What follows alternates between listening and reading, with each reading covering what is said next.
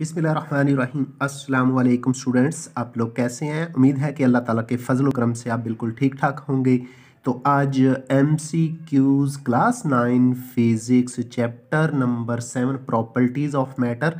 तो एम सी क्यूज़ की तरफ़ जाने से पहले, सबसे पहले मैटर की डेफिनेशन सुन लें कि मैटर क्या है। Anything which has weight or mass and occupies a space is called matter आप उर्दू के अंदर भी डेफिनेशन सुन लें।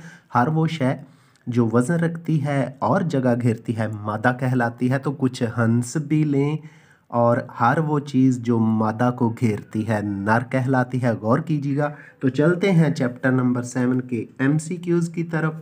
सेवन पॉइंट वन कुछ यूँ है, दिए गए मुमकिन जवाब में से दुरुस्त जवाब के गिर्द दायरा लगाइए। And circle the correct answer from the given choices Urdu English दोनों के अंदर बताया जाएगा। पहले इंग्लिश में सुन ले एम नंबर एक है। In which of the following state molecules do not leave their positions A solid B liquid C gas और डी है प्लाज्मा उर्दू के अंदर, मादा की कौन सी हालत में मालिक्यूल्स अपनी पोजीशन नहीं छोड़ते? ए ठोस बी माया सी गैस और डी है प्लाज्मा। तो सॉलिड यानी ठोस वो हालत होती है जिसमें मालिक्यूल्स अपनी जगह नहीं छोड़ते। तो ऑप्शन ए में ठोस लिखा हुआ है। ऑप्शन ए को हमने सर्कल कर दिया। अब एम नंबर दो की तरफ़ चलते हैं। नंबर टू है which of the following substance is the lightest one A copper B mercury C aluminium और डी है लेड उर्दू में भी सुन लें। कौन सी शय धात सबसे हल्की है? A, copper, B, mercury, C aluminium और डी, सीसा, जिसको लेड भी कहते हैं। तो एलुमिनियम ऐसी मेटल है, ऐसी शय है जो सबसे हल्की होती है, जिसका मास यानी वज़न सबसे कम होता है। ऑप्शन सी में लिखा हुआ है एलुमिनियम ऑप्शन सी को स्टूडेंट्स हमने सर्कल कर दिया। Number three, system international. SI unit of pressure is Pascal, which is equal to, which is equal to? A option है 10 की power 4 newton per metre square B 1 newton per metre square C 10 raise 2 newton per metre square D 10 raise 3 newton per metre square Urdu में कुछ यूँ है system international SI में pressure का unit pascal है और एक पास्कल बराबर होता है। दस की पावर चार न्यूटन पर मीटर स्केयर एक न्यूटन पर मीटर स्केयर दस की पावर दो न्यूटन पर मीटर स्केयर और डी है दस की पावर तीन न्यूटन पर मीटर स्केयर तो एक पास्कल एक न्यूटन के बराबर होता है। ऑप्शन सी में, बी में लिखा हुआ है। इसलिए स्टूडेंट्स, हम ऑप्शन बी को सर्कल कर देते हैं। M C Qs number four in English what should be the approximate length of a glass tube to construct a water barometer, a 0.5 meter, b 1 meter, c 2.5 metre D 11 मीटर अब उर्दू में भी सुन लें। पानी का बैरोमीटर बनाने के लिए शीशे की ट्यूब की लंबाई अंदाजन कितनी होनी चाहिए? ए ज़ीरो शारिया पाँच मीटर बी एक मीटर सी दो शारिया पाँच मीटर और डी ग्यारह मीटर तो डियर स्टूडेंट्स ये कैलकुलेशन की गई है। ये तकरीबन ग्यारह मीटर के बराबर आती है। ऑप्शन डी में ग्यारह मीटर लिखा हुआ है। इसलिए हमने ऑप्शन डी को सर्कल कर दिया है और यही करेक्ट आंसर है। M C Qs number five कुछ यूँ है। English according to Archimedes up thrust is equal to A weight of displaced liquid B volume of displaced liquid C mass of displaced liquid D, none of these अब उर्दू में भी सुन लें। अर्शमीदस के असूल के मुताबिक उछाल की फोर्स बराबर होती है। ए है, हट जाने वाले माया के वज़न के बराबर। बी हट जाने वाले माया के वॉल्यूम के बराबर। सी हट जाने वाले माया के मास के बराबर। और डी, इनमें से कोई नहीं। तो ये हट जाने वाले माया के वेट यानी वज़न के बराबर होती है। ऑप्शन ए में लिखा हुआ है, स्टूडेंट्स, ऑप्शन ए को हमने सर्कल कर दिया है। और यही करेक्ट आंसर है। स्टूडेंट्स, अगले एम की तरफ़ बढ़ने से पहले तो वो लोग जिन्होंने अभी तक मेरे चैनल को सब्सक्राइब नहीं किया तो प्लीज़ प्लीज़ प्लीज़ मेरे चैनल को सब सब्सक्राइब कर दें। बेल आइकन भी क्लिक कर दें ताकि आने वाले बहुत अहम और प्यारे प्यारे लेक्चर्स का नोटिफिकेशन आपको मिल जाए। तो चलते हैं एम नंबर सिक्स की तरफ़। Students number six English statement the density of a substance can be found with the help of A Pascal's law B Hooke's C Archimedes principle D principle of flotation Urdu में भी सुन ले। किसी शय की density मालूम की जा सकती है।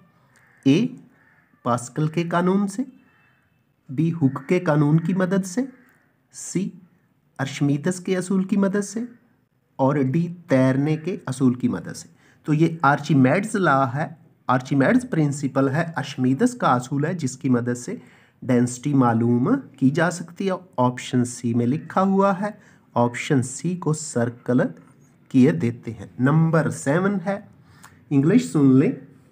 According to Hooke's law A stress multiplied by strain is equal to constant b stress over strain is equal to constant c strain over stress is equal to constant d stress is equal to strain now we come in urdu hook के कानून के मुताबिक option A stress जरब strain बराबर constant B stress बटे strain बराबर constant C strain बटे strain, stress बराबर कांस्टेंट डी है स्ट्रेस बराबर स्ट्रेन। तो स्टूडेंट्स हुक के कानून के मुताबिक स्ट्रेस बटे स्ट्रेन बराबर कांस्टेंट के होती है, ये ऑप्शन बी में लिखा हुआ है। ऑप्शन बी को हमने सर्कल कर दिया है और यही हमारा करेक्ट और दुरुस्त जवाब है। तो चलते हैं M C Qs number eight की जानब। स्टूडेंट्स इस एम की स्टेटमेंट कुछ यूँ है the following force extension graphs of a spring are drawn on the same scale answer the questions given below from eight to ten तो उर्दू में भी सुन ले। नीचे दिए गए किसी स्प्रिंग के फोर्स एक्सटेंशन ग्राफ को एक ही स्केल पर बनाया गया है। चार ग्राफ्स बने हुए हैं। तो ग्राफ्स की हालत भी देख लें। पहले ए के अंदर जो ग्राफ है रेड लाइन में, वो फोर्स के एक्सेस पर ज़्यादा है और एक्सटेंशन के एक्सेस पर कम है। ग्राफ बी के अंदर जो ग्राफ है रेड लाइन से दिखाया गया, ये फोर्स और एक्सटेंशन दोनों एक्सेस के दरमियान चल रहा है। एक्स एक्सेस पर फोर्स दिखाई गई है वाई एक्सेस पर एक्सटेंशन यानी स्प्रिंग का फैलाव दिखाया गया है। सी के अंदर जो ग्राफ है, वो फोर्स एक्सेस यानी एक्स एक्सिस पर चलता है, वाई एक्सेस पर उसकी वैल्यू ज़ीरो है। और डी के अंदर जो ग्राफ है, ये एक्सटेंशन की तरफ़ बढ़ा हुआ है बनस्बत फोर्स के। डियर स्टूडेंट्स, पहले ग्राफ को देख लें, फिर बढ़ते हैं इसके मतलब का एम की तरफ़। तो ये जो ग्राफ की ए बी सी और डी मुख्तलिफ़ फॉर्म्स आपको नज़र आ रही हैं। एक्स एक्सिस के साथ फोर्स है और वाई एक्सिस पर एक्सटेंशन है। तो ये जो पहला ग्राफ है ए वाला, इसमें जो ग्राफ वाली रेड लाइन है, ये फोर्स की डायरेक्शन में ज़्यादा है और एक्सटेंशन की डायरेक्शन में कम। जो बी है इसमें, जो ग्राफ है रेड लाइन वाला, वो फोर्स और एक्सटेंशन के दरमियान इक्वली आगे बढ़ रहा है। सी के अंदर फोर्स तो बढ़ रही है, लेकिन एक्सटेंशन नहीं हो रही।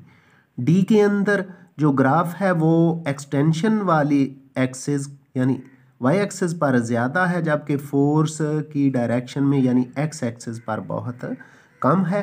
तो जो नीचे तीन क्वेश्चंस uh, पूछे गए हैं उसमें पहला नंबर कुछ यूँ है which graph does not obey Hooke's law लिखा हुआ है कौन से ग्राफ पर हुक का कानून लागू नहीं होता? तो आप देख रहे हैं ये जो ऑप्शन सी है, इसके अंदर जो फोर्स है वही लग रही है, एक्सटेंशन नहीं हो रही। तो ये जो ऑप्शन सी है, यहाँ हुक के ला की हुक के कानून की एप्लीकेशन नहीं है। इसलिए आठवें के लिए सी को हम सर्कल कर देते हैं। और अब चलते हैं नंबर नाइन की तरफ़। स्टूडेंट्स, नंबर नाइन है, कौन से ग्राफ में स्प्रिंग कांस्टेंट की कीमत सबसे कम होती है? Which graph gives the smallest value of spring constant तो अगर फोर्स की मकदार कम होगी तो वहाँ कांस्टेंट की वैल्यू कम होगी तो हम ग्राफ डी के अंदर देख रहे हैं फोर्स बहुत कम है, जबकि एक्सटेंशन बहुत ज़्यादा है। तो जो कांस्टेंट है, वो क्या होता है? फोर्स ओवर एक्सटेंशन होता है, इसलिए यहाँ फोर्स डी में कम है। तो वैल्यू कम से कम होगी कांस्टेंट की। जब फोर्स की मकदार कम होगी तो ये जो ग्राफ डी है इस पर हम सर्कल कर देंगे और यहाँ भी डी को सर्कल कर दिया। अब ग्राफ को गौर से देख लें, सारी हालतें हैं और अगला ऑप्शन यानी स्टेटमेंट भी सुन लें। स्टूडेंट्स ग्राफ को लेते हुए M C Qs number ten की स्टेटमेंट भी सुन लें। लिखा हुआ है which graph gives the largest value of spring constant कौन से ग्राफ से स्प्रिंग कांस्टेंट की कीमत सबसे ज़्यादा है? तो ग्राफ दोबारा देखते हैं और फिर जज करते हैं कि कहाँ कांस्टेंट की वैल्यू सबसे ज़्यादा है। तो चलें ग्राफ की तरफ़। तो आपको ग्राफ नज़र आ रहा होगा जहाँ फोर्स की मकदार सबसे ज़्यादा है, वो है ए तो ए के अंदर फोर्स ज़्यादा है, जबकि एक्सटेंशन कम है तो यहाँ कांस्टेंट की वैल्यू सबसे ज़्यादा होगी। तो ए है ऑप्शन दस के लिए तो ऑप्शन ए को चल के हम सर्कल करते हैं। जी तो जो ग्राफ्स दिखा दिए गए हैं, उनमें से ए के अंदर कांस्टेंट की वैल्यू मैक्सिमम है ए को हमने सर्कल कर दिया है। तो इसके साथ ही आज का लेक्चर क्लोज होता है। मुझे मोहम्मद अब्बास को दीजिए इजाज़त। अल्लाह हाफिज़।